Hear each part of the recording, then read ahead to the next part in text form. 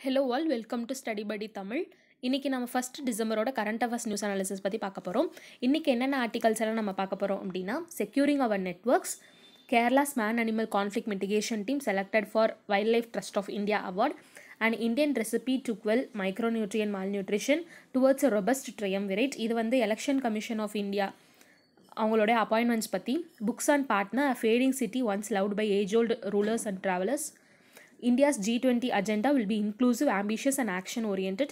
160 to 200 million Indians could be exposed to lethal heat waves annually, World Bank report. Miscellaneous and PYQ பார்த்து முடிக்க போகிறோம் so இது நேற்று கொடுத்த PYQ கொண்டான ஆன்சர்ஸ் செக் பண்ணிக்கங்க ஸோ நம்ம ஸ்டபி ஸ்டடி படியில் பார்த்தீங்கன்னா ஆகஸ்ட் செப்டம்பர் அண்ட் அக்டோபர் மந்த்துக்கு உண்டான கரண்ட் அஃபேர்ஸ் மேகசின் அவைலபிளாக இருக்குது இதை நீங்கள் பர்ச்சேஸ் பண்ணணும் அப்படின்னு நீங்கள் நினச்சிங்கன்னா காஸ்ட் நைன்டி நைன் ருபீஸ் தான். இதில் GS one two three four prelims bits some potential mains questions இது எல்லாமே காம்ப்ரஹென்சிவாக கவர் பண்ணி கொடுத்துருவோம். ஸோ உங்களோட ப்ரிப்பரேஷனுக்கு ரொம்பவே யூஸ்ஃபுல்லாக இருக்கும்.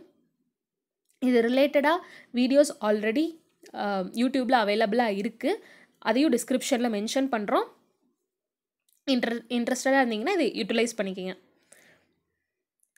இன்றைக்கி ஃபர்ஸ்ட் ஆர்டிக்கல் என்ன அப்படின்னா செக்யூரிங் அவர் நெட்ஒர்க்ஸ் இப்போ ரீசெண்டாக பார்த்தீங்கன்னா எய்ம்ஸ் ஹாஸ்பிட்டலில் ஒரு ரேன்சம்வேர் அட்டாக் நடந்திருக்கு.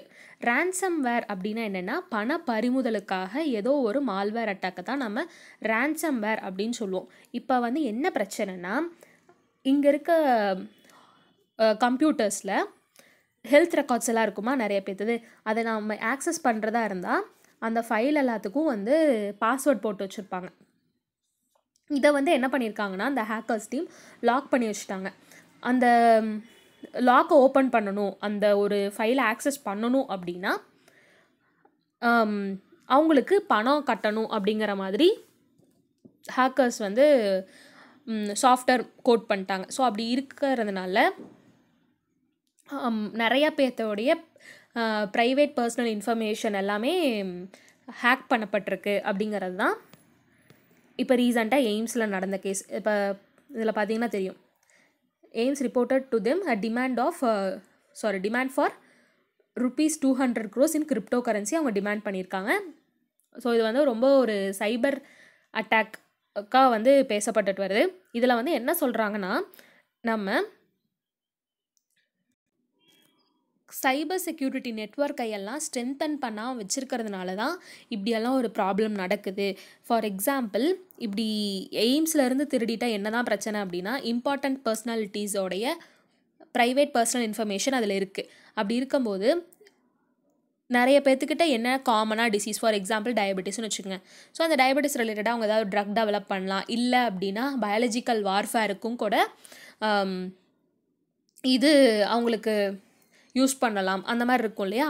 அதனால் என்ன சொல்கிறாங்கன்னா கிரிட்டிக்கல் இன்ஃபர்மேஷன் இன்ஃப்ராஸ்ட்ரக்சரை நாம் ரொம்பவே பாதுகாத்து வச்சுக்கணும். அதுலேயே நிறைய கண்ட்ரிஸ் என்ன சொல்கிறாங்கன்னா ஹெல்த் அண்ட் மெடிக்கல் செக்டரோடைய இன்ஃபர்மேஷன் எல்லாம் தான் கிரிட்டிக்கல் இன்ஃபர்மேஷன் இன்ஃப்ராஸ்ட்ரக்சர் அப்படின்னு சொல்கிறாங்க ஏன்னா அது மூலமாக ஒரு நாட்டையே ஆக்கிரமிப்பு பண்ணுறக்கூடிய அளவுக்கு இன்ஃபர்மேஷன் அதில் இருக்கும் அப்படிங்கிறதையும் மென்ஷன் பண்ணுறாங்க ஏன் அப்படின்னா கிட்டத்தட்ட எய்ம்ஸ் ஹாஸ்பிட்டலில் மட்டும் thirty eight lakhs people every year வந்து ட்ரீட் பண்ணப்படுறாங்க. அப்படி இருக்கும்போது அவங்களுடைய எல்லா டேட்டாவுமே அந்த சிஸ்டமில் இருக்குமா? ஸோ இப்படி ஒரு அட்டாக் நடந்துருச்சு அப்படின்னா இட் இஸ் வெரி ஹார்ம்ஃபுல் அப்படிங்கிறது மென்ஷன் பண்ணுறாங்க இது வந்து நேஷ்னல் செக்யூரிட்டிக்கும் ஒரு கொஷினபிளான ஒரு ஃபேக்டர் தான். இந்த ரேன்சம்பர் அட்டாக் அப்படிங்கிறதையும் சொல்கிறாங்க அடிஷ்னலாக இது என்ன காமிக்குதுன்னா இதே மாதிரி வேரியஸ் ஆர்கனைசேஷன்ஸ் இருக்கும் இல்லையா? அங்கேயும் இந்த மாதிரி அட்டாக் நடக்கிறதுக்கும் வாய்ப்பு இருக்குது அப்படிங்கிறதையும் மென்ஷன் பண்ணுறாங்க இதுக்காக நம்ம என்னென்னலாம் கொண்டு பண்ணணும்? பட்ஜெட்ஸ் நிறையா அலோகேட் பண்ணி ப்ராப்பரான செக்யூரிட்டி இன்ஃப்ராஸ்ட்ரக்சரை நம்ம பில்ட் பண்ணணும்.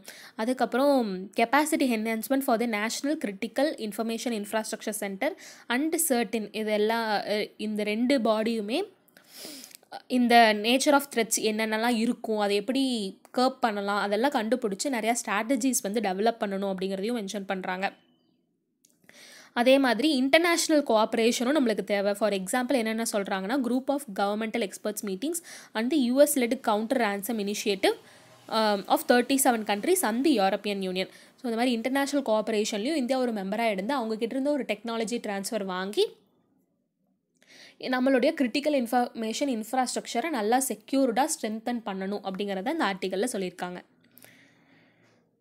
ஸோ நெக்ஸ்ட் ஆர்டிக்கல் என்னென்னா Kerala's man animal conflict mitigation team selected for WTA award கேரளாவில் இருக்கக்கூடிய சின்னக்கனல் அந்த ஏரியா வந்து முன்னார் ஃபாரஸ்ட் டிவிஷன் கீழே வருது. ஸோ அதில் இருக்கக்கூடிய எட்டு மெம்பர் கொண்ட குழுக்கு டபிள்யூடிஐ அவார்ட் கொடுத்துருக்காங்க. எதுக்காகனா மேன் அனிமல் கான்ஃப்ளிக்டை வந்து அவங்க மிட்டிகேட் பண்ணியிருக்க ஆக்டிவிட்டீஸ்க்காக அவங்க டபிள்யூடிஐ கொடுத்துருக்காங்க. ஓகேங்களா? ஸோ டபிள்யூடிஐ அப்படின்னா என்னென்னு பார்த்துடலாம். அது வந்து ஒரு இந்தியன் என்ஜிஓ தான் which is committed to nature conservation அதோட மோட்டோ வந்து பார்த்திங்கன்னா in service of nature mission வந்து வை வைல்ட் லைஃப்பையும் அதோடைய ஹேபிட்டடையும் கன்சர்வ் பண்ணணும். இண்டிவிஜுவல் வைல்ட் அனிமல்ஸோடைய வெல்ஃபேருக்காக அவங்க ஒர்க் பண்ணுறாங்க இதுக்கு நம்மளுடைய கவர்மெண்ட்டுமே நிறையா சப்போர்ட் பண்ணுறாங்க ministry of environment forest and climate change அவங்களும் சோஷியல் ஜஸ்டிஸ் அவங்களுமே இது பண்ணுறாங்க ஓகேங்களா டபிள்யூடிஐ எதுக்கு ரொம்ப ஃபேமஸ் அப்படின்னு பார்த்தோன்னா கன்சர்வேஷன் ஆக்டிவிட்டீஸ் நிறையா பண்ணுவாங்க. எந்தெந்த மாதிரினா கிரிட்டிக்கலி என்டேஞ்சர் ஸ்பீஷஸை உடைய பாப்புலேஷன் ரெக்கவர் பண்ணுறது டிரான்ஸ்லொகேஷன் ஆஃப் ஸ்பீஷஸ்க்கு ஹெல்ப்ஃபுல்லாக இருப்பாங்க. ஹியூமன் அனிமல் கான்ஃப்ளிக்ட்டுக்கும் ரொம்பவே ஹெல்ப்ஃபுல்லாக இருப்பாங்க. இந்த ஆர்டிக்கலில் நம்ம என்ன மெயினாக ஞாபகம் வச்சுக்கணும்னா அந்த சின்ன கனல் அப்படிங்கிற பிளேஸ் வந்து it can be asked in news sorry it can be asked in questions அதனால் இந்த ஊர் பேர் மட்டும் ஞாபகம் வச்சுக்கோங்க. அடுத்து என்ன ஆர்டிக்கல்னா and Indian recipe to quell micronutrient malnutrition so இதை நம்ம நிறையா பக்கம் பேசியிருப்போம். இதில் வந்து ரொம்ப காம்ப்ரஹென்சிவாக கொடுத்துருப்பாங்க. ஃபுட் ஃபோர்ட்டிஃபிகேஷன் இன் அடிஷன் வந்து கொடுத்துருப்பாங்க. டேட்டா பாயிண்ட்ஸ் வந்து பார்த்தோன்னா national family health survey five படி எவ்ரி செகண்ட் இந்தியன் உமன் வந்து அனிமிக் ஸோ ரெண்டு உமன் எடுத்துட்டோன்னா அதில் ஒரு உமன் வந்து கன்ஃபார்மாக அனிமிக்காக இருப்பாங்க. அடுத்து மூணு சைல்டு எடுத்துட்டோன்னா கன்ஃபார்மாக ஒரு சைல்டு வந்து ஸ்டண்டட் அண்ட் மால்நரிஷ்டாக இருப்பாங்க. எ அஞ்சு சைல்டு எடுத்துட்டோன்னா அதில் ஒரு சைல்டு வந்து அவங்க வேஸ்டடாக இருப்பாங்க. ஸோ அப்படி மால் நியூட்ரிஷன் ப்ராப்ளம் இருக்குது அப்படின்னு சொல்கிறாங்க ஸோ ஸ்டண்டிங் வேஸ்டிங் அப்படின்னா என்னென்னா அவங்களுடைய ஏஜுக்கு தகுந்த வளர்ச்சி இல்லாமல் இருக்கிறது தான் ஸ்டண்டிங் இதுவே அவங்க ஹைட்டுக்கு தகுந்த um, மசில் இல்லை அப்படிங்கிறது தான் வேஸ்டிங் ஓகேங்களா ஸோ இந்த டிஃப்ரென்ஷியேஷன் வந்து நம்ம புரிஞ்சுக்கணும். ஸோ அப்போ இதில் என்ன சொல்கிறாங்க ஸ்டண்டட் வந்துட்டு one by third of children இருக்காங்க. வேஸ்டட் வந் வேஸ்டிங் வந்து one by fifth of the children இருக்காங்க அப்படிங்கிறத நம்ம தெரிஞ்சுக்கணும். அப்புறம் எஃப்ஏஓவோட ஃபுட் செக்யூரிட்டி ரிப்போர்ட்டும் நம்ம என்ன சொல்லுது? India ranks one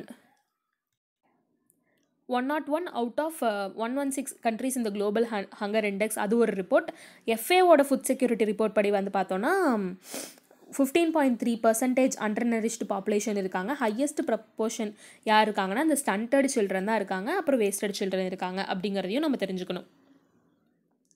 அது மட்டும் இல்லாமல் global nutrition report twenty twenty one படி என்ன சொல்கிறாங்கன்னா stunting among among children in India significantly higher than Asian average of twenty one point eight percentage அதாவது ஸ்டண்டட் ஆன குழந்தைங்க எல்லாம் குழந்தைங்க பார்த்தோன்னா ஏஷியாவில் இருக்க ஆவரேஜை விட இந்தியாவில் அதிகமாக இருக்காங்க. கிட்டத்தட்ட இருபத்தி ரெண்டு பர்சன்ட் அதிகமாக இருக்காங்க அப்படிங்கிறதையும் மென்ஷன் பண்ணுறாங்க ஸோ இந்த டேட்டா பாயிண்ட்ஸ் எல்லாமே வந்து நம்ம ஞாபகம் வச்சுக்கணும். ஸோ இந்தியா வந்து என்னென்ன மாதிரிலாம் ஸ்டெப்ஸ் எடுக்கிறாங்க அப்படின்னு நம்ம பார்த்தோன்னா ஃபுட் ஃபோர்ட்டிஃபிகேஷன் அப்படிங்கிற ஒரு ப்ராசஸ் மூலமாக நம்ம ஓரளவுக்கு இந்த மால் நியூட்ரிஷனை கர்ப் பண்ணிட்டு தான் வந்துக்கிட்டு இருக்கோம் அப்படிங்கிறதையும் இதில் மென்ஷன் பண்ணுறாங்க for example rice wheat salt அதில் எல்லாத்தையுமே வந்து நம்ம ஃபுட் ஃபோர்ட்டிஃபிகேஷன் நடக் பண்ணிகிட்டே வரோம் ஓகேங்களா? ஃபுட் ஃபோர்ட்டிஃபிகேஷன் அப்படின்னா என்னென்னு பார்க்கலாம். அது அதுக்கு முன்னாடி பயோஃபோர்ட்டிஃபிகேஷனில் இருக்க ரெண்டு காம்பனண்ட்டு தான் ஃபுட் ஃபோர்ட்டிஃபிகேஷன் அதுக்கப்புறம் பயோஃபோர்ட்டிஃபிகேஷன் இப்போ நம்ம பேசிகிட்டு இருக்கிறது இந்த காம்பனண்ட் தான் ஃபுட் ஃபோர்ட்டிஃபிகேஷன் அதாவது ஏதோ ஒரு ஃபுட் இருக்கும் நம்ம எக்ஸ்ட்ரா ஒரு நியூட்ரியன்ஸ் ஆட் பண்ணுவோம்.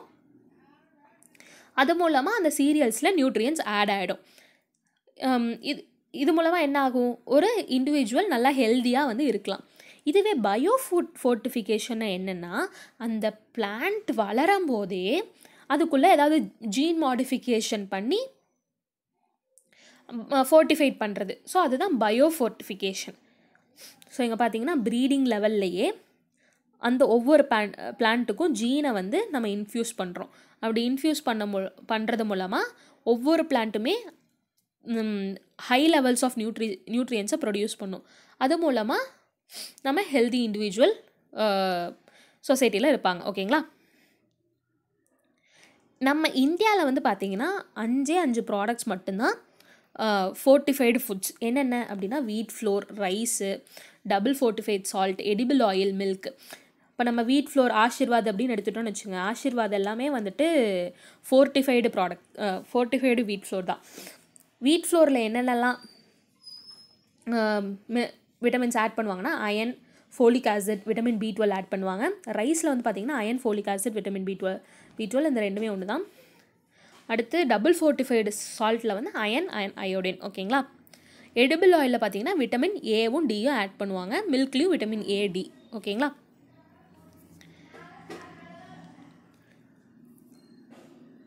அடுத்து வந்து பார்த்தோம்னா நம்ம ஏன் இந்த அளவுக்கு ஃபோர்ட்டிஃபைடு ப்ராடக்ட்ஸ் ரொம்ப முக்கியம் அப்படின்னு பார்த்தோம்னா நம்ம கண்ட்ரியில் அனீமியாவோட ப்ரிவலன்ஸ் அதிகமாகவே இருக்குது அப்படி இருக்கிறதுனால ஒரு இனிஷியேட்டிவ் மூலமாக அனிமியாவை குறைச்சறதுக்கு உண்டான ஒரு சக்ஸஸ் ஸ்டோரியாக தான் இந்த ஆர்டிக்கலில் மென்ஷன் பண்ணுறாங்க எங்கே அப்படின்னு பார்த்தோம்னா மகாராஷ்டிரில் கட்சிரோலி டிஸ்ட்ரிக் அப்படிங்கிறதுல என் என்ன பண்ணியிருக்காங்கன்னா நம்ம ரேஷன் கடைகள் இருக்கும் இல்லையா பிடிஎஸ் ஷாப்ஸ்னு சொல்லுவோம்ல அங்கே வந்து ஃபோர்ட்டிஃபைடு ரைஸ் அண்ட் வீட்டை கொடு கொடுத்தது மூலமாக அங்கே இருந்த அனிமிக் ப்ரிவலன்ஸ் கம்மியாகிடுக்கு கம்மியாக அப்படின்னு சொல்லியிருக்காங்க. ஸோ இதில் சொல்லியிருப்பாங்க பாருங்கள் success in terms of preventing cases of anaemia from fifty eight to twenty nine percentage within a span of two years ஓகேங்களா அவங்க வந்து என்ன பண்ணியிருக்காங்கன்னா ஃபோர்ட்டிஃபைட் ரைஸ் வந்து ப்ரொவைட் பண்ணியிருக்காங்க so this is in line with PDS ICDS PM போர்ஷன்க்கு ஏற்ற மாதிரி இந்த பயோ ஃபோர்ட்டிஃபிகேஷன் இருக்குது ஸோ பிடிஎஸ்னால் தான் இந்த நம்ம ரேஷன் ஷாப் ஐசிடிஎஸ் அப்படிங்கிறது வந்து இந்த பாலூட்டும் தாய்மார்கள் அதுக்கப்புறம் பிறந்த குழந்தைங்களுக்கு ஸோ எல்லாம் அவங்களுக்கு எல்லாத்துக்குமே வந்து நியூட்ரிஷியஸ் ஃபுட்டு தரணும் அப்படிங்கிறதுக்காக தான் இந்த ஐசிடிஎஸ் ப்ரோக்ராம் இருக்கும். பிஎம் போஷன் வந்து மிட் டே மீல்ஸ் ஓகேங்களா ஸோ அந்த ஹெல்த் பெனிஃபிட்ஸ் எல்லாமே பார்த்தோன்னா ஃபுட் ஃபோர்ட்டிஃபைடு ப்ராடக்ட்ஸில் எயிட்டி கண்ட்ரீஸ் எல்லாமே இது ரிலேட்டடாக லாஸ் வந்து ஃப்ரேம் பண்ணியிருக்காங்களாம். ஸோ சீரியல் ஃப்ளோர் அப்படின்னு பார்த்தோம்னா ஃபோ கிட்டத்தட்ட எயிட்டி கண்ட்ரீஸ் பண்ணியிருக்காங்க. ஒன் தேர்ட்டி கண்ட்ரீஸ் வந்து அயோடைஸ்டு சால்ட்டுக்காக லாஸ் ஃப்ரேம் பண்ணியிருக்காங்க. இதுலேயே தேர்ட்டீன் கண்ட்ரீஸ் வந்து கன்ஃபார்மாக ரைஸை ஃபோர்ட்டிஃபை பண்ணி தான் நீங்கள் ப்ரொவைட் பண்ணணும் அப்படின்னு சொல்லியிருக்காங்க. ஓகேங்களா ஸோ இது வந்து ஒரு சக்ஸஸ் ஸ்டோரி இதை நம்ம ஞாபகம் வச்சுக்கணும். மகாராஷ்டிரா கச்சிரோலி டிஸ்ட்ரிக்ட் அடுத்து என்ன சக்ஸஸ் ஸ்டோரி சொல்கிறாங்கன்னா noon meal scheme in Gujarat. இப்போ மதிய உணவு திட்டம் இருக்கும் இல்லையா? அங்கே இருக்கக்கூடிய மதிய உணவு திட்டத்தில் ஃபோர்ட்டிஃபைடு ரைஸ் வந்து கொடுத்துருக்காங்க. ஸோ அது மூலமாக ஹீமோக்ளோபின் கான்சன்ட்ரேஷன் வந்து இன்க்ரீஸ் ஆகியிருக்கா அதே மாதிரி அனீமியா ப்ரிவலன்ஸ் வந்து ஹீமோக்ளோபின் கான்சன்ட்ரேஷன் இன்க்ரீஸ் ஆனாவே அனீமியா ப்ரிவலன்ஸ் டிக்ரீஸ் ஆயிருமா? அப்படி ஆனதுனால அவங்களுடைய காக்னேட்டிவ் ஸ்கோர்ஸும் கிட்டத்தட்ட eleven point three percentage increase ஆயிருக்கு அப்படின்னு சொல்கிறாங்க ஏன் அனீமியா அவ்வளோ பெரிய ப்ராப்ளம் அப்படின்னா it is responsible for three point six percentage of disability adjusted life years ஓகேங்களா? அதாவது நம்ம நாள் வாழ்நாளில் குறிப்பிட்ட நாள் வந்து உடம்பு சரியில்லாமையோ இல்லை டிசேபிள்டு பர்சனாகவும் நம்ம வாழ வேண்டிய கட்டாயம் ஏற்பட்டுரும். ஸோ அதை வந்து இது குறைச்சிருக்கு அப்படிங்கிறதையும் சொல்கிறாங்க ஸோ அதை வந்து டேலி அப்படின்னு சொல்கிறாங்க என்னென்னா it is years of life lost due to premature mortality plus years lived with disability for example இப்போ ஒருத்தருடைய வாழ் வாழ்நாள் காலம் செவன்ட்டி இயர்ஸ்னு வச்சுக்கோங்க. அவர் ஆனால் ஏர்லி டெத்தாக வந்து இறந்துடுறாங்க. ஒரு சிக்ஸ்டி இயர்ஸ்லேயே அவங்க இறந்துடுறாங்க. ஸோ அப்போ பத்து வருஷம் வந்து அவங்களுடைய லைஃப்பில் அவங்க வாழாமே இறந்துட்டாங்களா? ஏர்லி டெத்தாக அதை வந்து ஆட் பண்ணுவாங்க. Years of life lost due to premature mortality அவங்க இறக்குறதுக்கு முன்னாடி ஒன்றா படுத்த படுக்கையாகவோ அந்த மாதிரி ஒரு அஞ்சு வருஷம் இருக்காங்கன்னு வச்சுக்கோங்க. ஸோ அதில் வந்து ஒரு அஞ்சு வருஷம் இருந்துச்சுன்னா அதுதான் டேலி அப்படின்னு சொல்கிறாங்க அதாவது டிசபிலிட்டி அட்ஜஸ்டட் லைஃப் இயர்ஸ் ஓகேங்களா? அப்போ இதில் ஒரு எழுபது நாள் வாழக்கூடிய ஒரு மனிதர் எவ்வளோ நாள் தான் ஆக்சுவலாக நல்லா தெம்பாக வாழ்ந்திருப்பார் அப்படின்னு பார்த்தீங்கன்னா ஐம்பத்தஞ்சு வயசு தான் வந்து வாழ்ந்திருப்பாங்க. ஸோ அதை தான் வந்துட்டு இதில் சொல்கிறாங்க ஸோ டபிள்யூஹெச்ஓ படியே என்னென்னா ஃபார்ட்டி செவன் மில்லியன் டேலி வந்து லாஸ் ஆகுதான் இல்னஸ் டிசபிலிட்டி ஆர் ப்ரீமெச்சூர் டெத்துனால ஆனால் இதுக்குண்டானது இல்னஸ் டிசபிலிட்டி ப்ரீமெச்சூர் டெத்துக்குண்டான ரீசனே அயன் டெஃபிஷியன்சி அனிமியா தான் அப்படின்னு சொல்கிறாங்க சரி இதெல்லாம் ஓகேப்பா ஹெல்த் ஆஸ்பெக்ட்ஸில் இப்போ கவர்மெண்ட்டுக்கு வந்து எல்லாத்துக்கும் கொடுக்கணும் அப்படின்னா அவங்களுக்கு காசு வேணும் இல்லையா?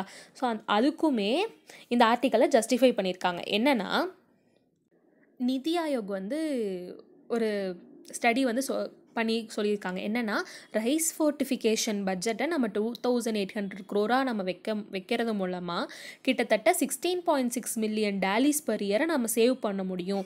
Which is thirty five percentage of the six point six million டேலிஸை நம்ம சேவ் பண்ண முடியும் அப்படின்னு சொல்கிறாங்க அது மட்டும் இல்லாமல் நார்மலாக ஒரு டேலிக்கு தேர்ட்டி தௌசண்ட் இப்போ இருக்கிறத நம்ம குவான்டிஃபை பண்ணணும்னு வச்சுக்கோங்க மானிட்டரி டேர்ம்ஸை தேர்ட்டி தௌசண்ட் வே செலவாகுதான். இதுவே ஐடிஏவை மட்டும் அதாவது இன் அயன் டெஃபிஷியன்சி அனீமியாவை மட்டும் நம்ம அதுலேருந்து நீக்கிட்டோம்னு வச்சுக்கோங்க டேலியிலேருந்து. கிட்டத்தட்ட one five four five rupees தான் செலவாகுது.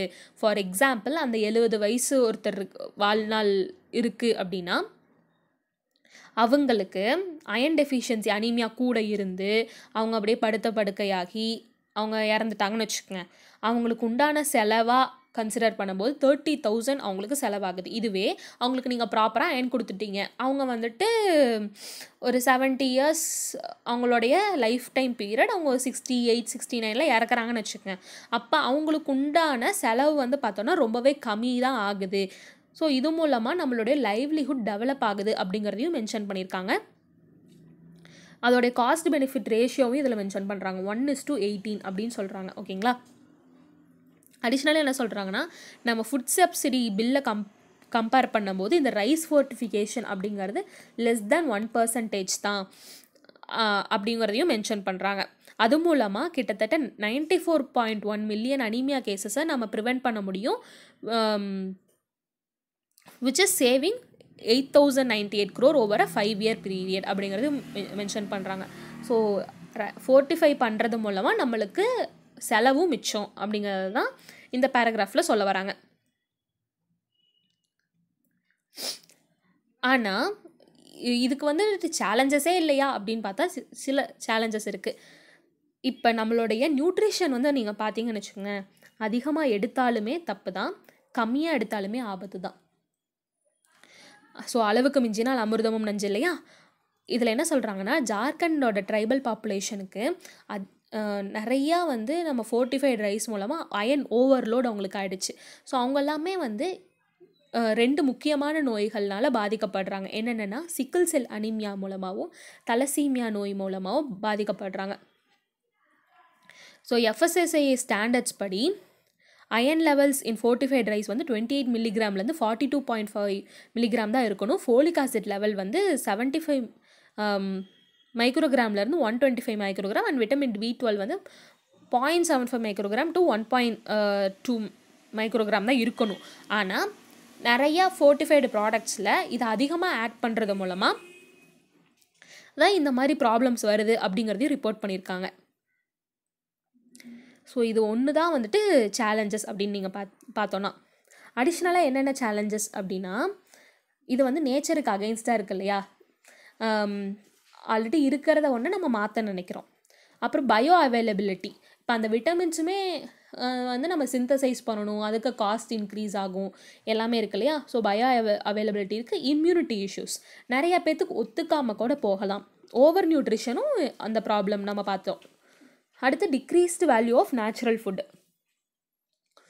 so நம்ம ஃபோர்ட்டிஃபைடு ஃபுட்டவே மட்டுமே தான் சாப்பிடுமே ஒழிய நேச்சுரல் ஃபுட்டை நம்ம விட்டுருவோம் அப்படிங்கிறதும் வந்து ஒரு இஷ்யூவாக வந்து இருக்குது இந்த ஃபோர்ட்டிஃபிகேஷன் ப்ராடக்ட்ஸ் எல்லாம் யார் ரெகுலேட் பண்ணுவா அப்படின்னு பார்த்தோன்னா எஃப்எஸ்எஸ்ஐஏ தான் ரெகுலேட் பண்ணுவாங்க ஓகேங்களா under the FSSAI FSS act two thousand six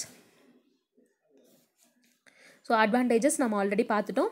types of food fortification நம்ம bio fortification and commercial and industrial ஃபோர்ட்டிஃபிகேஷனும் நம்ம வந்து பார்த்துட்டோம். ஹோம் ஃபோர்ட்டிஃபிகேஷன் அப்படின்னா என்னென்னா வீட்டிலே வந்து ஏதாவது ஆட் பண்ணி கொடுக்கறது அந்த மாதிரி. இப்போ வீட்லேயே எப்படி ஆட் பண்ணுவோம்? ஏதாவது இப்போ லோ ப்ரெஷர் அந்த மாதிரி இருந்ததுன்னா என்ன பண்ணுவாங்கன்னா அந்த சர்க்கரையும் உப்பும் போட்டு தண்ணி குடிக்க சொல்லுவாங்க இல்லையா? ஸோ அதெல்லாமே வந்துட்டு சின்ன சின்ன லெவலில் ஃபோர்ட்டிஃபிகேஷன் டைப்பில் தான். ஓகேங்களா ஸோ ஃபைனலாக இந்த ஆத்தர் என்ன சொல்கிறாங்கன்னா ஃபுட் ஃபோர்ட்டிஃபிகேஷன் ஒரு cost effective complementary strategy to address multiple micronutrient deficiencies அதனால் நீங்கள் இந்த ஓவர்லோடையெல்லாம் கொஞ்சம் கண்காணித்து கம்மி பண்ணிவிட்டு ஃபோர்ட்டிஃபிகேஷனை நீங்கள் எல்லா பக்கமும் கொடுங்க. நம்மளுடைய மால் நியூட்ரிஷன் வேர்ல்டை கொஞ்சம் டேக்கிள் பண்ணுங்க அப்படிங்கிறது தான் இந்த ஆர்டிக்கலில் சொல்லியிருப்பாங்க. ஸோ இந்த ஆர்டிக்கலில் நம்ம என்னென்னலாம் பார்த்தோம் அப்படின்னா ஃபோர்ட்டிஃபிகேஷன் அதோட டைப்ஸ் ரெண்டு டைப்ஸ் பார்த்தோம். அடுத்து அதோடைய cost benefit analysis some success stories அதுக்கப்புறம் இம்பார்ட்டன்ட் டேட்டா பாயிண்ட்ஸ் பார்த்து இந்த ஆர்டிக்கல் நம்ம முடிக்கிறோம். Next towards a robust very two issues which is appointment of election commissioners and the same security to the election commissioner இப்போ என்ன ரெண்டு இம்பார்ட்டண்ட்டான problem இருக்குன்னா L whether election commissioner should be elected by the executive or a collegium ஓகேங்களா? So election கமிஷனரை appoint பண்ணுறதுக்கு sorry செல select பண்ணுறதுக்கு எக்ஸிக்யூட்டிவ் ஆக்ஷனா இல்லை கொலீஜியம் பார்த்துக்குமா அப்படிங்கிறது ஒரு கொஷினாக இருக்குது ஸோ அதுதான் வந்து ஃபஸ்ட் இஷ்யூ ஃபஸ்ட் இஷ்யூவில் வந்து பார்த்தோன்னா இந்த ஆர்டிக்கலில் த்ரீ டைப்ஸ் ஆஃப் ரெக்கமெண்டேஷன்ஸ் வந்து சொல்லியிருப்பாங்க என்னென்ன ரெக்கமெண்டேஷன் அப்படின்னு பார்த்தீங்கன்னா ஃபஸ்ட்டு வந்து தினேஷ் கோஸ்வாமி கமிட்டி நைன்டீன் நைன்ட்டியில் வந்து போடப்பட்டிருக்கும். அவர் என்ன சொல்லியிருப்பாருன்னா சீஃப் எலெக்ஷன் கமிஷனரை பிரசிடெண்ட் தான் அப்பாயிண்ட் பண்ணுறதா இருந்தாலுமே அவர் யாரை யாரை கன்சல்ட் பண்ணணும் அப்படின்னா chief justice of India leader of opposition அப்படி லீடர் ஆஃப் அப்போசிஷன் இல்லை அப்படின்னா லோக்சபாவில் யார் லார்ஜஸ்ட் அப்போசிஷன் குரூப்பாக இருக்காங்களோ இவங்க ரெண்டு பேர்த்தோட கன்சல்டேஷன் கூட தான் பிரசிடெண்ட் எலெக்ஷன் கமிஷனரை அப்பாயிண்ட் பண்ணணும் அப்படின்னு Dinesh Goswami committee in nineteen ninety வந்து சொல்லியிருப்பாங்க. அது மட்டும் இல்லாமல் இந்த மாதிரி அப்பாயின்மெண்ட்ஸுக்கு ஒரு ஸ்டாச்சுவட்ரி பேக்கிங் இருக்கணும் அப்படிங்கிறதையும் அவர் மென்ஷன் பண்ணியிருப்பாரு. அதே மாதிரி மற்ற இப்போ எலெக்ஷன் கமிஷனர்ஸை வந்து அப்பாயிண்ட் பண்ணுறதா இருந்தால் சீஃப் எலெக்ஷன் கமிஷனரை கன்சல்ட் பண்ணணும். ஸோ முன்னாடி நான் சொன்னது வந்து சீஃப் எலெக்ஷன் கமிஷனருக்கு அப்பாயின்மெண்ட் பண்ணுறது president CJI and leader of opposition இவங்க மூணு பேர் இன்வால்வ் ஆவாங்க. இதுவே எலெக்ஷன் கமிஷனர்ஸாக மட்டும் அப்பாயின்மெண்ட் சாரி செலக்ட் பண்ணுறதுக்கு சீஃப் எலெக்ஷன் கமிஷனரை கன்சல்ட் பண்ணணும். அப்படிங்கிறத Dinesh Goswami committee of nineteen ninety suggest பண்ணியிருப்பாங்க அடுத்து வந்து என்சிஆர் டபிள்யூசி அதாவது national commission to review the working of the constitution இது யார் எழுதியிருப்பாங்கன்னா எம்என் வெங்கடாச்சலையா நம்மளுடைய இந்தியன் பாலிட்டி புக்கில் கடைசி சாப்டராக ஒன்று இருக்கும். ஸோ அந்த சாப்டர் வந்து இவங்களுடைய ரெக்கமெண்டேஷன்ஸ் பற்றி தான் இருக்கும். அவங்க என்ன சொன்னாங்கன்னா chief election commissioner and other election commissioners எல்லாத்தையுமே எப்படி அப்பாயின்மெண்ட் பண்ணணும் அப்படின்னா ஒரு பாடி வந்து நம்ம செட்டப் பண்ணணும். அதில் யார் யார் இருப்பா இருப்பாங்கன்னா பிரைம் மினிஸ்டர் இருப்பார் லீடர்ஸ் ஆஃப் தி அப்போசிஷன் இந்த Lok Sabha and Rajya Sabha speaker of the Lok Sabha இருப்பாங்க deputy chairman of the Rajya Sabha இவங்கெல்லாம் இரு இருக்கிற ஒரு குழு தான். எலெக்ஷன் கமிஷனராக இருந்தாலும் சரி சீஃப் எலெக்ஷன் கமிஷனராக இருந்தாலும் சரி அப்பாயின்மெண்ட் பண்ணணும் அப்படிங்கன்னு இந்த கமிட்டி வந்து சொல்லியிருப்பாங்க. அடுத்து two fifty fifth report of the law commission அதை யார் சேர் பண்ணியிருப்பாங்கன்னா ஏபி ஷா அப்படிங்கிற ஒருத்தர். அவர் என்ன சொல்கிறாருன்னா எல்லா எலெக்ஷன் கமிஷனர்ஸையுமே பிரசிடெண்ட் ஒரு த்ரீ மெம்பர் கொலீஜியம்மை கன்சல்ட் பண்ணி தான் முடிவெடுக்கணும் அதில் யார் யார் இருப்பாங்க அப்படின்னா prime minister leader of the opposition of the Lok Sabha அப்புறம் chief justice of India so already Dinesh Goswami கமிட்டியோடதையே தான் இந்த டூ ஃபிஃப்டி ஃபிஃப்த்து ரிப்போர்ட்டும் வந்து சொல்லியிருப்பாங்க. அடிஷ்னலாக இந்த லா கமிஷன் என்ன சொல்லியிருப்பாங்கன்னா எலெக்ஷன் கமிஷனர் வந்து ரிமூவ் பண்ணுறதுக்கு நம்ம சேஃப்கார்ட் பண்ணணும் அவங்க. அவங்கள சீக்கிரமாக எலெக்ஷன் கமிஷனர்ஸை வந்து ரிமூவ் பண்ண முடியாத மாதிரி இருக்கணும். இம்பீச்மெண்ட் மூலமாக தான் மு ரிமூவ் பண்ணணும் அப்படிங்கிறதையும் இந்த லா கமிஷன் வந்து சொல்லியிருப்பாங்க. ஆனால் இந்த இந்த மூணுத்தோட கமிஷன் இருக்கும் இல்லையா? இவங்க மூணுத்தோட கமிஷனோட எந்த ரெக்கமெண்டேஷனையும் கவர்மெண்ட் வந்து எடுத்துக்கல. ஓகேங்களா? ஸோ இதுதான் வந்து ஃபஸ்ட்டு இஷ்யூ இது இதில் ஏதோ ஒரு கமிட்டியோட ரெக்கமெண்டேஷனாவது நீங்கள் எடுத்துருக்கலாமே அப்படிங்கிறத இந்த ஆர்டிக்கலில் மென்ஷன் பண்ணுறாங்க அடுத்து என்ன இஷ்யூ அப்படின்னு பார்த்தோன்னா இப்போ சீஃப் எலெக்ஷன் கமிஷனர் இருப்பாங்க. அதுக்கப்புறம் எலெக்ஷன் கமிஷனர்ஸ் ரெண்டு பேர் இருப்பாங்க இல்லையா? இவங்களுடைய ரிமூவல் மெத்தட் ஆஃப் ரிமூவல் அப்படின்னு பார்த்தீங்கன்னா இவங்களது வந்து ரொம்ப ஈஸியாகவே ரிமூவ் பண்ணிடலாம் அவங்களோட வேலை பிடிக்கல அப்படிங்கிற மாதிரி இருந்தால் இவங்களை ரிமூவ் பண்ணுறது தான் it is related to the process of supreme court judge ஓகேங்களா இதை வந்து இவங்கள இவங்கள மாதிரியே ஒன்றா இவர் ரிமூவ் பண்ணும். இல்லைனா எல்லாத்துக்கும் ஒரே மாதிரி ப்ரொசீஜர் வேணும் அப்படிங்கிறது தான் செகண்ட் இஷ்யூ நம்ம பாலிட்டிலேயே படிச்சிருப்போம். ஸ்டார்டிங்கில் சீஃப் எலெக்ஷன் கமிஷனர் அப்படிங்கிற ஒரே ஒருத்தர் தான் இருந்தார். Sixty first constitutional amendment act of nineteen eighty eight ஓகேங்களா? அப்போ வந்து என்னாச்சுன்னா அப்போ வந்து ஓட்டர் ஏஜை வந்து டுவெண்ட்டி ஒன்லேருந்து எயிட்டீனாக குறைச்சிருப்பாங்க. ஸோ அப்படி இருக்கும்போது எலெக்ஷன் கமிஷனுக்கு அதிக வேலை இருக்கும். அதையெல்லாமே வந்துட்டு ஒரு குரூப்பாக பண்ணணும் அப்படிங்கிறதுனால தான் அடிஷ்னலாக எலெக்ஷன் கமிஷனர்ஸ் அப்படிங்கிற ஒரு ரோல் வருது. அவங்களுக்கு உண்டான பவர்ஸ் எல்லாம் எப்படி இருக்கும் அப்படிங்க பார்க்கும்போது தான் சேஷன் கேஸ் வந்து ரொம்ப இம்பார்ட்டண்ட் அதில் வந்து என்ன சொல்லியிருக்காங்க அப்படின்னா இந்த பவர்ஸ் எல்லாம் இருக்கும்ல சீஃப் எலெக்ஷன் கமிஷனருக்கும் சரி மற்ற எலெக்ஷன் கமிஷனர்ஸுக்குமே ஒரே பவர்ஸ் தான் இருக்குது ஈக்குவல் பவர்ஸ் தான் இருக்குது அப்படிங்கிறத சொல்லியிருப்பாங்க. And even afforded majority power where by any two can overrule even the chief election commissioner அப்படிங்கிறதையும் அதில் மென்ஷன் பண்ணியிருப்பாங்க ஆனால் என்னென்னா எலெக்ஷன் கமிஷனரை ஈஸியாக ரிமூவ் பண் பண்ணிடலாம் இதுவே சீஃப் எலெக்ஷன் கமிஷனரை பண்ண முடியாது அப்படிங்கிறதையும் இதில் மென்ஷன் பண்ணியிருப்பாங்க அந்த சேஷன் கேஸில் ஓகேங்களா இந்த ஆர்டிக்கலுடைய ஆத்தர் ஆல்ரெடி எலெக்ஷன் கமிஷனராகவும் ஒர்க் பண்ணியிருக்கிறாராமா? சீஃப் எலெக்ஷன் கமிஷனராகவும் ஒர்க் பண்ணியிருக்கிறாராமா? ஸோ அவர் என்ன சொல்கிறாருன்னா நான் வந்து ஏதோ ஒரு போல்டான ஸ்டெப்ஸ் என்னால் எலெக்ஷன் கமிஷனராக இருக்கும்போது என்னால் எடுத்து வைக்க முடியல. இதுவே நான் சீஃப் எலெக்ஷன் கமிஷனராக இருக்கும்போது நான் போல்டாக பண்ண முடிஞ்சுச்சு எதனாலனா என்னுடைய பொசிஷனுக்கு எனக்கு செக்யூரிட்டி இருந்துச்சு சீஃப் எலெக்ஷன் கமிஷனராக இருந்தபோது அப்படிங்கிறதையும் இதை மென்ஷன் பண்ணுறாங்க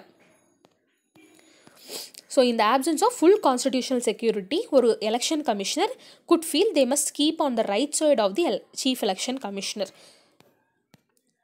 ஸோ ஃபு கான்ஸ்டிடியூஷனல் செக்யூரிட்டி இல்லாத போது ஒரு எலெக்ஷன் கமிஷனர் சீஃப் எலெக்ஷன் கமிஷனரோடைய ஒரு ஹெல்ப்பர் மாதிரி தான் அப்படிங்கிறது டினோட் ஆகுது. அதனாலேயே நிறையா எலெக்ஷன் கமிஷனர்ஸ் முன் வர மாட்டேங்கிறாங்க அப்படிங்கிறத சொல்கிறாங்க ஸோ இப்போ இந்த ஆத்தர் என்ன சொல்லி முடிக்கிறாருன்னா அந்த சீஃப் எலெக்ஷன் கமிஷனரை எப்படி கொலேஜியம் மூலமாக அப்பாயின்மெண்ட் பண்ணுறது அப்படிங்கிறத ரெகுலேட் பண்ணி கொலேஜியம் மூலமாகவே நீங்கள் அப்பாயின்மெண்ட் பண்ணிவிடுங்க அதை வந்து கொஞ்சம் வைட் பேஸ்டாக மாற்றிடுங்க அப்படிங்கிறதையும் மென்ஷன் பண்ணுறாங்க அதே மாதிரி எலெக்ஷன் கமிஷனர் கமிஷனுக்கு ஒரு ப்ராப்பர் கான்ஸ்டிடியூஷனல் செக்யூரிட்டி கொடுங்க அப்படிங்கிறதையும் இந்த ஆர்டிக்கலில் சொல்லியிருக்காங்க. ஸோ இந்த ஆர்டிக்கலில் நம்ம ரெண்டு இஷ்யூஸ் பார்த்துருக்கோம் which is related to election commission ஓகேங்களா? அவங்களுடைய அப்பாயின்மெண்ட்ஸ் பற்றி அடுத்த ஆர்டிக்கல் வந்து பார்த்தோம்னா books and Patna faring city once loved by age old rulers and travellers இப்போ பாட்னா வந்து அதோடைய ஏன்ஷியன் நேம் பாட்டலிபுத்ரா ஓகேங்களா? பாட்டலிபுத்ராக்கு யார் யாரெலாம் வந்திருக்காங்க அப்படின்னா Megasthenes Faxian Hugh Yuan Chwang இவங்க எல்லாருமே வந்து வந்திருப்பாங்க. இப்போ ரீசண்டாக பாட்னாவை பற்றி நிறையா பேர் வந்து புக்கெல்லாம் எழுத ஆரம்பிச்சிட்டாங்க. அதில் தான் யார் யாருன்னா அமிதவா குமார் அண்ட் சித்தார்த் சௌத்ரி. அவங்க எல்லாமே சொல்கிறாங்க one traces the journey of a city Indian Florence அப்படிங்கிறதையும் பாட்னாக்கு ஒரு பேராக வந்து கொடுக்குறாங்க. ஸோ ஏன்ஷியன் லெவல்லேருந்து பார்த்தோன்னா பாட்டலிபுத்ரா எங்கே இருக்குது which is an ancient city founded at the confluence of Son and Ganga rivers so இந்த ரெண்டு ரிவரும் மீட் பண்ணுற இடத்துல தான் பாட்டலிபுத்ரா இருக்குது அப்படிங்கிறத மென்ஷன் பண்ணுறாங்க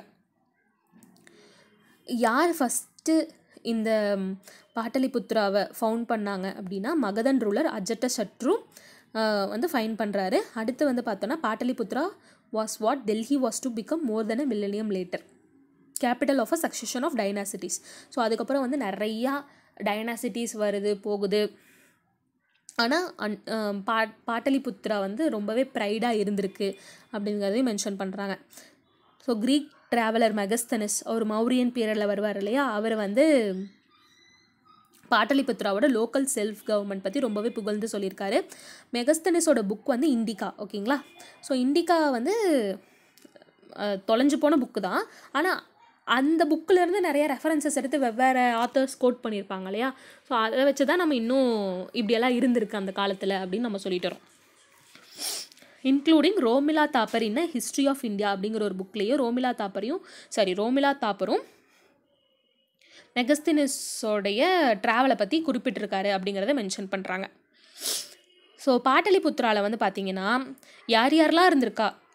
அப்படின்னா மகதன் ரூலர்ஸ் மெயினாக முதல்ல ந நந்தாஸ் இரு இருந்தாங்க. அடுத்து மௌரியாஸ் வந்தாங்க. குப்தாஸ் பா பாலாஸ் இவங்க எல்லாருமே வந்து பாட்டலிபுத்திராவை ஒரு இம்பார்ட்டன்ட் பிளேஸாக வந்து வச்சுருந்துருக்காங்க.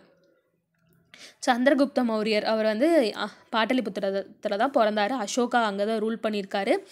அதே மாதிரி Chandragupta one two and Samudragupta எல்லாருமே இந் பாட்டலிபுத்திராவில் இருந்து தான் ரூல் பண்ணியிருக்காங்க. ஓகேங்களா அதுக்கப்புறம் வந்து பார்த்தீங்கன்னா பாட்டலிபுத்ராவை அசீமாபாத் அப்படின்னு சொல்லி அவுரங்கசீப் பேரை மாத்துறாரு. அ- அசீமாபாத்னு ஏன் மாத்துறாருன்னா அவருடைய பேரன் பேர் வந்து முகமது அசீம். ஸோ அதனால் அசீமாபாத் அப்படின்னு அவுரங்கசீப் பேர் வைக்கிறாரு. அதுக்கப்புறம் சிக்ஸ்டீன்த் செஞ்சுரியில் என்ன ஆகுதுன்னா மறு இந்த அவுரங்கசீப்க்கு முன்னாடி சிக்ஸ்டீன்த் செஞ்சுரியில் ஆப்கன் கிங் ஷேர்ஷா சூரி இருப்பார் இல்லையா? அதாவது ஹுமாயூன் உடைய இடைக்கால இடைக்காலகட்டத்தில் அவர் வருவார்.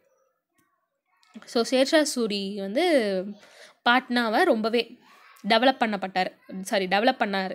ஓகேங்களா so something amazing about the city which grew out of a village called Pataligram Pataliputra கூடயும் முன் மு- முந்தின பேர் என்ன சொல்கிறாங்கன்னா பா பாட்டலி கிரம் அதாவது கிராமம். ஓகேங்களா அது கிராமமாக இருக்கிறது. ஒரு சிட்டியாகவே உருவெடுத்துச்சு. அதோடைய இம்பார்ட்டன்ட் ஃபீச்சர்ஸ்னால அப்படிங்கிறத மென்ஷன் பண்ணுறாங்க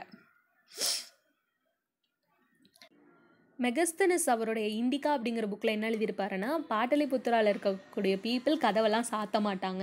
அவங்களுக்கு எந்த ஒரு திருட்டு பயமெல்லாம் கிடையாது அப்படின்னு சொல்லி எழுதியிருப்பார். ஸோ இன்னுமே நிறையா ஸ்டூடெண்ட்ஸ் ஆஃப் ஹிஸ்ட்ரி படிச்சுட்டு இருக்காங்க. அந்த ஒரு கான்டெக்ஸ்ட்டை அப்படின்னு சொல்கிறாங்க ஃபாசியான் ஹுவன்ஸா யுவான் சுவாங் அவங்களாம் வந்திருப்பாங்க. ஃபாசியான் எப்போ வருவார்? ஃபோர்த்து செஞ்சுரியில் வருவார். யுவான் சாங் செவன்த் செஞ்சுரியில் வருவாங்க இல்லையா?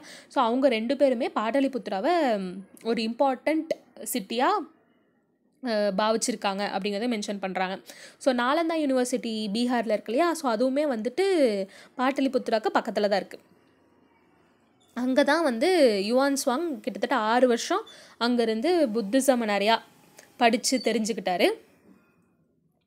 அதுக்கப்புறம் பார்த்தோன்னா ஹம், ஹர்ஷ ஹர்ஷவர்தன் அவருமே வந்து பாட்டலிபுத்திராவில் seventh change first half of the seventh century அங்கே தான் ரூல் பண்ணியிருக்காரு. நம்ம இந்த நாலந்தா யூனிவர்சிட்டி வந்து பற்றி பார்த்தோன்னா யார் கட் இனிஷியேட் பண்ணி கட்டியிருப்பாங்கன்னா குமாரகுப்தா. அடுத்து ஹர்ஷவர்தனா தான் அதை அதுக்கப்புறம் ரீஸ்டோரேஷன் எஃபர்ட்ஸு அதை இன்னும் கொஞ்சம் டெவலப் பண்ணுற எஃபர்ட்ஸ் எல்லாமே வந்து ஹர்ஷவர்தனா பார்த்துருப்பாரு. ஆனால் Pataliputra it was destroyed by Bakhtiyar Khilji in eleven ninety three CE ஓகேங்களா? இவர் வந்து இந்த மா மம்லுக் டைனாசிட்டி அப்படின்னு சொல்லுவோம் இல்லையா?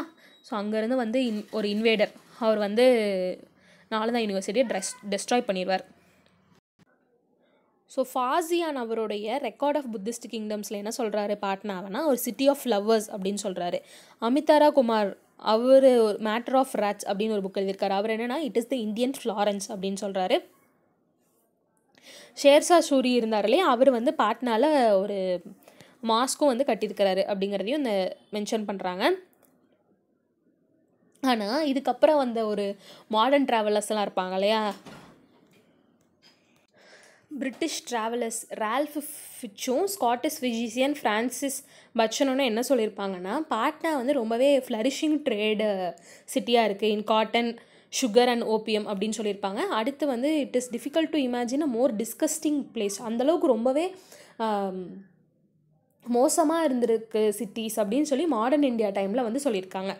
ஸோ இதுதான் வந்து இந்த ஆர்டிக்கல் நெக்ஸ்ட் ஆர்டிகல் பார்த்தோன்னா India's G twenty agenda will be inclusive ambitious and action orient அப்படின்னு சொல்லி நம்மளுடைய பிஎம் வந்து சொல்லியிருக்காரு. ஸோ இன்றைக்கி December one twenty twenty two இல்லையா?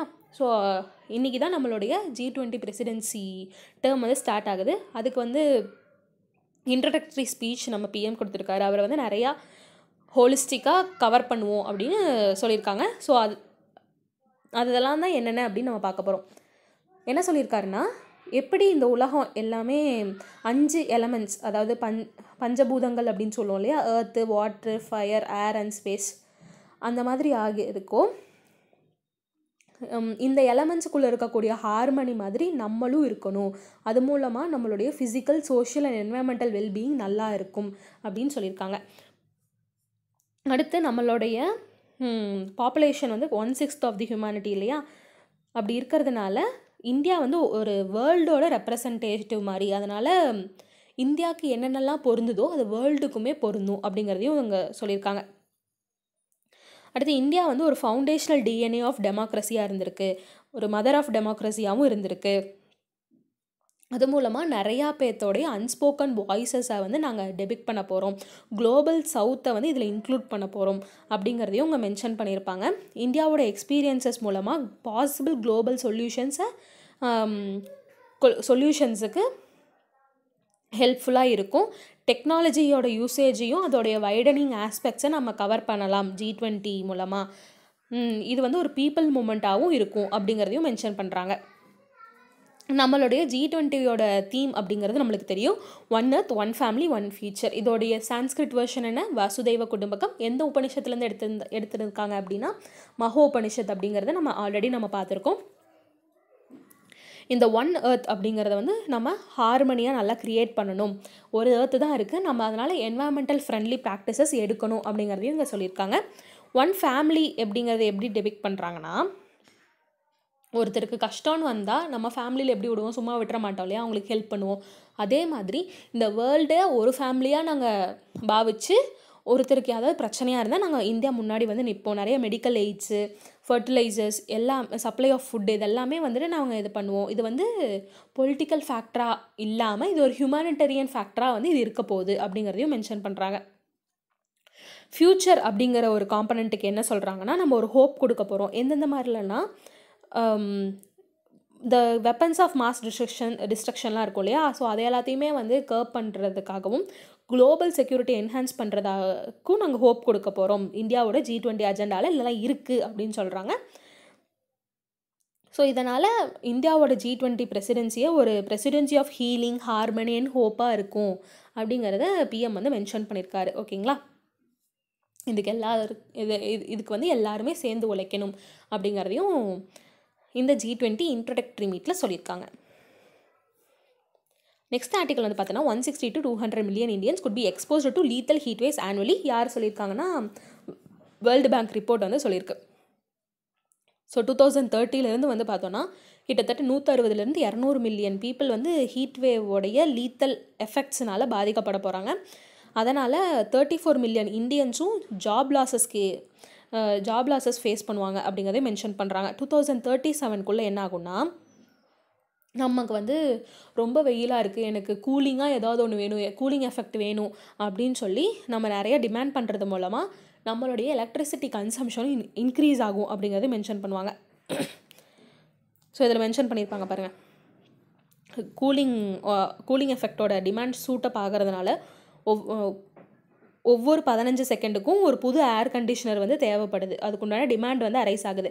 அப்படி இருக்கிறதுனால four thirty five percentage in annual greenhouse gas emissions கிட்டத்தட்ட ஒரு ரெண்டு டிகேட்குள்ளேயே இன்க்ரீஸ் ஆகிடும் அப்படிங்கிறது மென்ஷன் பண்ணுறாங்க இதெல்லாம் எந்த ரிப்போர்ட்டில் அப்படின்னா climate investment opportunities in India's cooling sector அப்படின்னு சொல்லி டபிள்யூ சாரி வேர்ல்டு பேங்க் வந்து ரிப்போர்ட் வெளிவிட்டிருக்காங்க இதில் என்ன சொல்கிறாங்கன்னா ஒரு இன் நம்ம கூலிங் செக்டாருக்கு நிறையா இன்வெஸ்ட்மெண்ட் பண்ணுறது மூலமாக நம்ம க்ரீன் ஹவுஸ் கேஸ் எமிஷன்ஸையும் குறைக்கலாம்.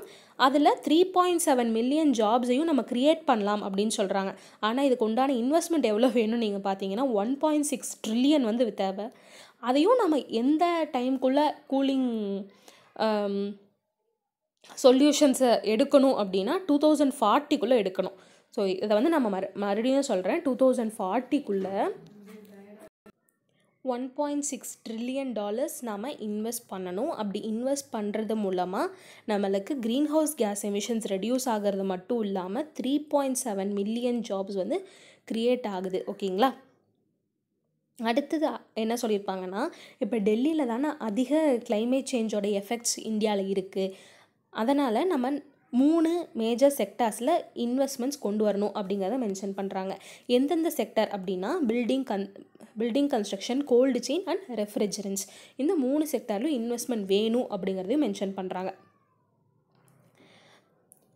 ஸோ கிளைமேட் ரெஸ்பான்சிவ் க்ளூ கூலிங் டெக்னிக்ஸ் அதை வந்து போத் ப்ரைவேட்டும் ஃபண்ட் பண்ணணும் கவர்மெண்ட்டும் ஃபண்ட் பண்ணுறது மூலமாக தான் இந்த க்ரீன் ஹவுஸ் கேஸ் எமிஷன்ஸ் அதுக்கப்புறம் கிளைமேட் சேஞ்சோட எஃபெக்ட்ஸ்லேருந்து நாம் எப்படி த நம்மளுடைய நம் நம்மளை நாமளே பாதுகாத்து கொள்வது ஸோ அதுக்குமே நாம் நிறைய டெக்னிக்ஸ் வந்து டெவலப் பண்ணோம் இதில் என்ன சஜஸ்ட் பண்ணுறாங்கன்னா இந்தியாவில் இருக்கக்கூடிய பிரதான் மந்திரி ஆவாஸ் யோஜனா இருக்கு இல்லையா? அங்கே நாம் இந்த மாதிரி இன்ஃப்ராஸ்ட்ரக்சர் டெக்னிக்ஸை நம்ம கொண்டு வரலாம் அப்படிங்கிறத மென்ஷன் பண்ணுறாங்க இதில் என்ன சொல்கிறாங்கன்னா மொத்தம் ரெண்டு ஸ்டா ஸ்ட்ராட்டஜிஸ் வந்து சொல்கிறாங்க என்னென்னா district cooling system and cool roofs ஓகேங்களா?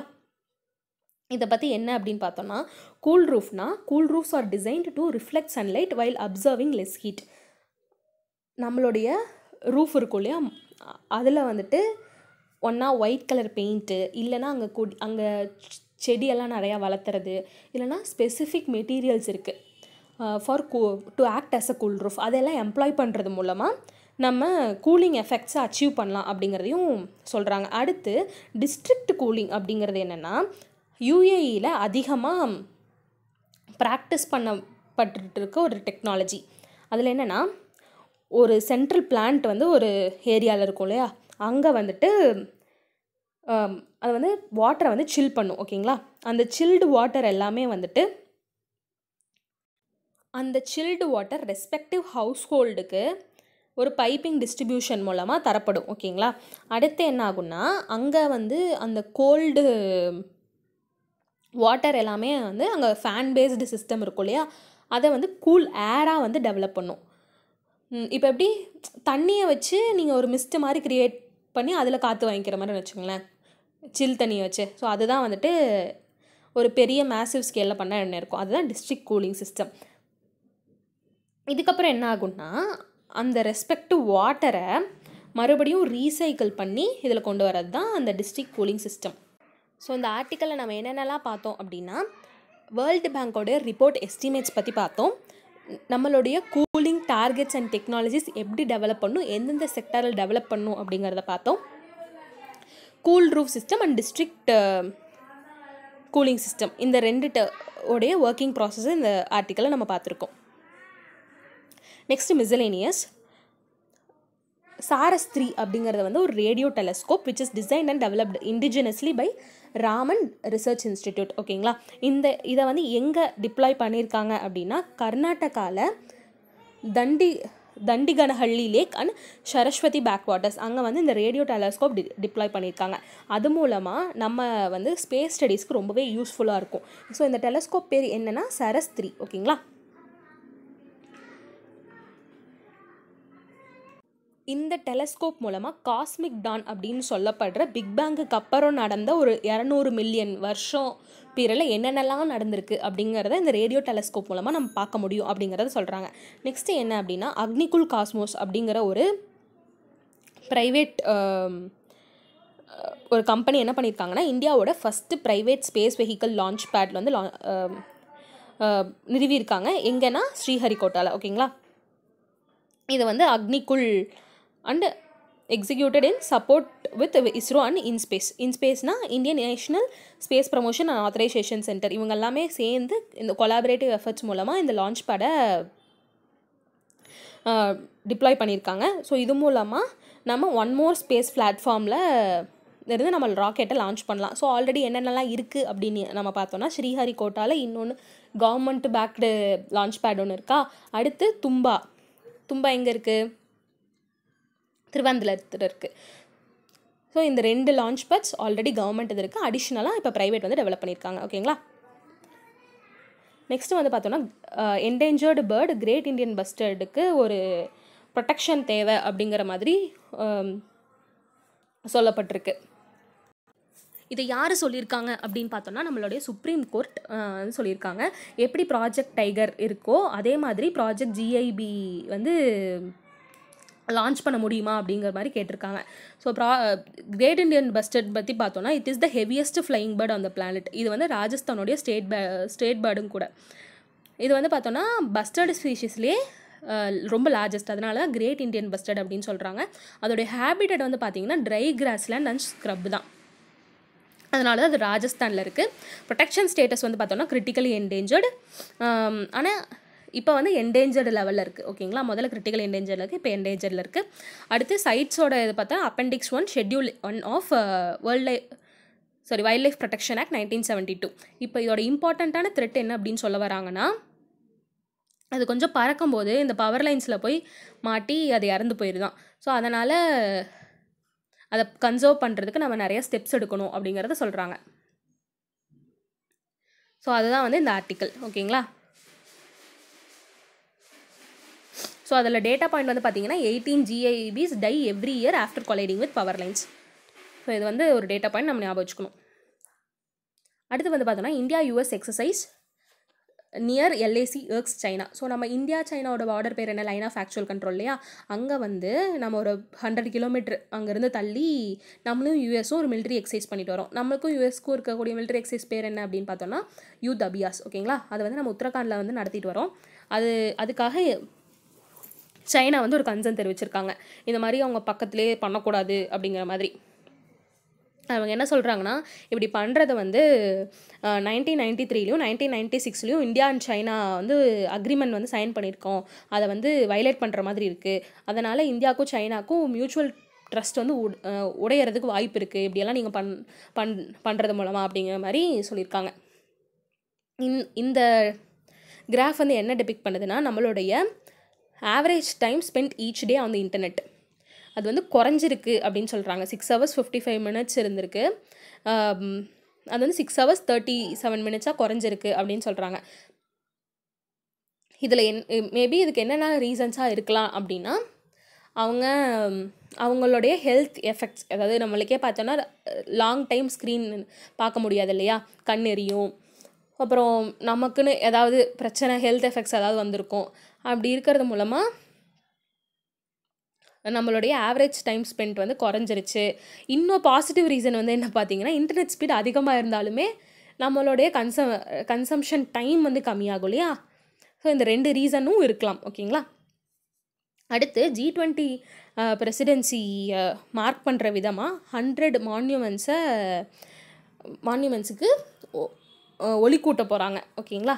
என்னென்ன மான்யூமெண்ட்ஸ் மெயினாக அப்படின்னு பார்த்தோன்னா டெல்லியோட குத்துப் மினார் புராண கிலா ஃபோர்ட்டு அதுக்கப்புறம் வெள்ளூர் ஃபோர்ட்டு தமிழ்நாட்டில் இருக்கிறது கோல்கண்டா ஃபோர்ட் இன் ஹைதராபாத் தமேக்ஸ் டூபாஸ் Fatehpur Sikri in Delhi C Sikandra in Agra shore temple in Mahabalipuram Charminar in Hyderabad உத்தரகண்டில் இருக்க Jageshwar temple Hazarduari palace in Murshidabad in West Bengal and the ancient palace in Leh so இதெல்லாமே வந்துட்டு hundred மான்யூமெண்ட்ஸையும் நம்மளால் ஞாபகம் வச்சுக்க முடியாது. ஆனால் இந்தந்த மான்யூமெண்ட்ஸ் எந்தெந்த ஊரில் இருக்குது இல்லை எந்தெந்த ஸ்டேட்டில் இருக்குது அப்படிங்கிறத நம்ம ஞாபகம் வச்சுக்கலாம். இதை மென்ஷன் பண்ணியிருக்கக்கூடிய மான்யூமெண்ட்ஸ் மட்டும் ஒன்ஸ் பார்த்துக்க பார்த்து வச்சுக்கோங்க. ஸோ இன்றைக்கி ஆர்டிகல்ஸ் அவ்வளோதான் இன்றைக்கி ஆர்டிகல்ஸ் ரிலேட்டடான PYQs so thank you keep supporting ஏதாவது இம்ப்ரூவைஸ் பண்ணுனாலும் இஷ்யூஸ் இருந்தனாலும் கமெண்ட் செக்ஷனில் மென்ஷன் பண்ணுங்கள் தேங்க்யூ